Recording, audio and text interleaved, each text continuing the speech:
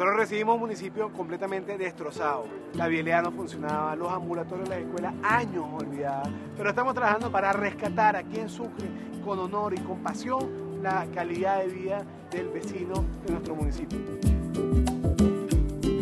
Este dispensario tiene funcionando 50 años en esta comunidad, eh, funcionó de una manera muy precaria y bueno, yo me siento muy feliz, muy contenta porque por primera vez este está trabajando como deben trabajar todos los dispensarios de Venezuela.